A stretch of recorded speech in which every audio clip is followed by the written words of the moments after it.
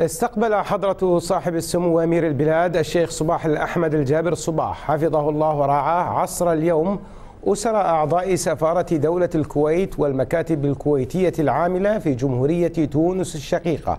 وذلك في مقر إقامة سموه بالعاصمة تونس وحضر اللقاء أعضاء الوفد الرسمي المرافق لسموه.